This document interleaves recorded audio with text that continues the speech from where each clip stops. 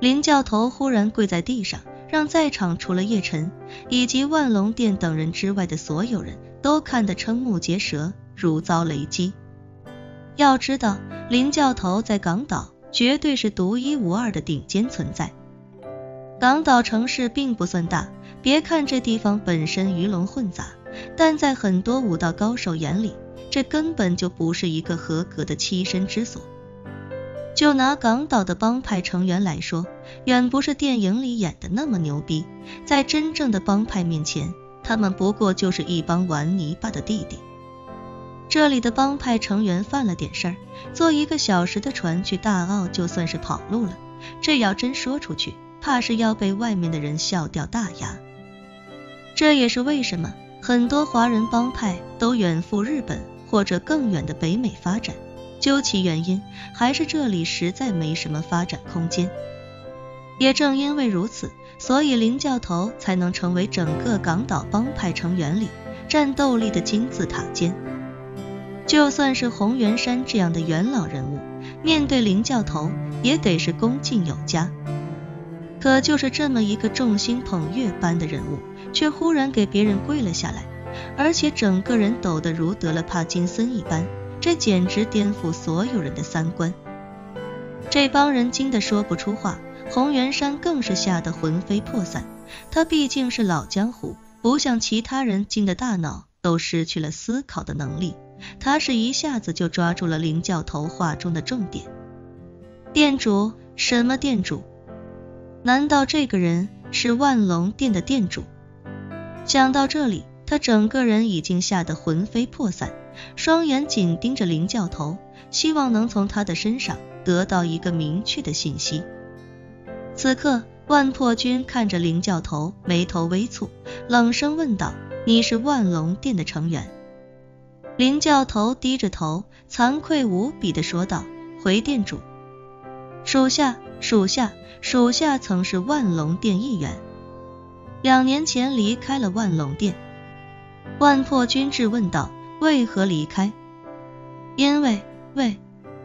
说到这里，林教头一下语塞，他没有脸当着万破军的面说起自己被万龙殿驱逐的过去。万破军见他唯唯诺诺、吞吞吐吐的样子，厉声喝道：“你曾是万龙殿一员，却像个废物一样低着头唯唯诺诺的，成何体统？给我抬起头来！”林教头吓得浑身剧颤，可是万破军的威压让他不得不逼迫自己抬起头来，迎上万破军如炬一般的目光。这一刻，他整个人情绪崩溃。放声大哭道：“店主，是属下触犯了万龙殿的纪律，所以被驱逐出了万龙殿。属下被驱逐出来的这两年，没有一天不再渴望能够重回万龙殿，还希望店主您能法外开恩，让属下能够继续为万龙殿效犬马之劳。”万破军转过身，看着陆昊天，问道：“昊天，他因何被驱逐？”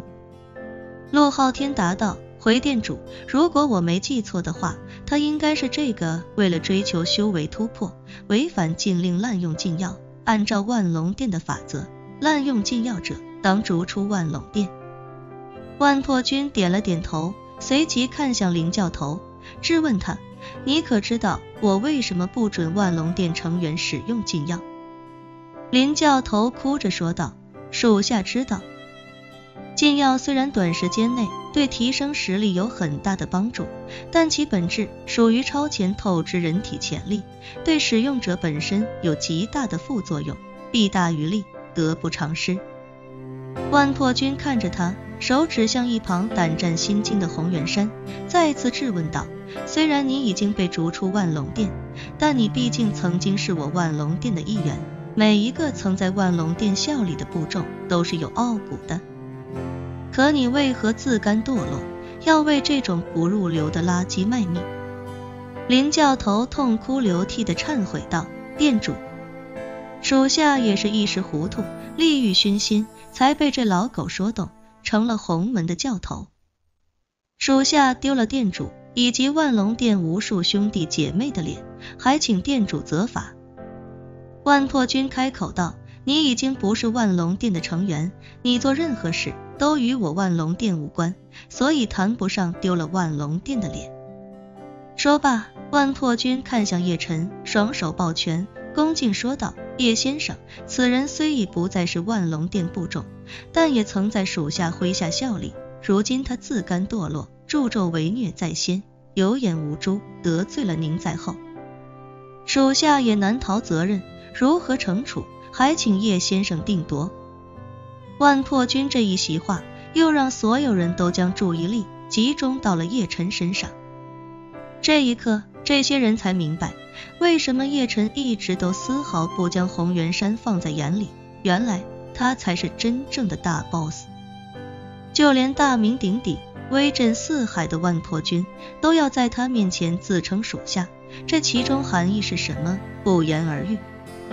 这意味着，包括万破军在内的万龙殿所有人，其实都是在为叶晨尽忠。老狐狸一般的洪元山瞬间明白，自己今天到底得罪了什么人。自己今天得罪的，竟然是万龙殿真正的主人。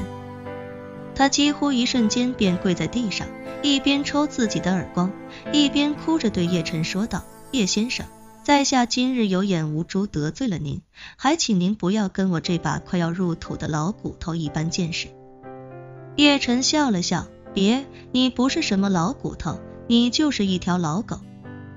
洪元山内心的恐惧已经碾压了他内心的所有愤怒与屈辱，他忙不迭的连连点头。您说的对，在下，在下就是一条老狗，一条只会吟吟狂吠的老狗。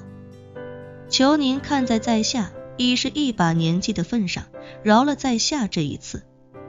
叶晨冷笑道。你刚才还要杀了我，现在跪在地上说自己是条老狗，就想让我放过你？我叶辰如果这么好说话的话，以后拿什么服众？洪元山浑身一颤，哭着说道：“在下，在下刚才只是逞口舌之快，并没有什么恶意啊。”哦，叶辰哼笑道：“原来是逞口舌之快。你刚才说要让林教头干什么来着？”哦，对了，你让他把我的嘴撕开，再把我的舌头扯出来，我没说错吧？洪元山吓得整个人抖如糠筛，结结巴巴的说道：“在下，在下，在下那都是信口胡诌。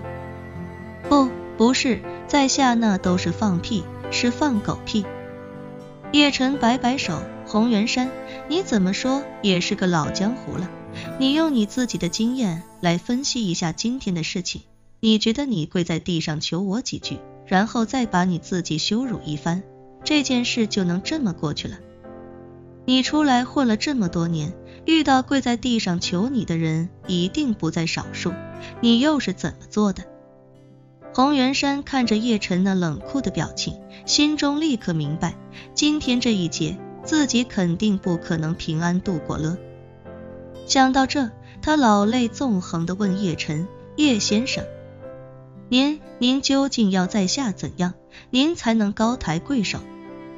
叶晨挑了挑眉，淡淡道：“很简单，我要以其人之道，还治其人之身。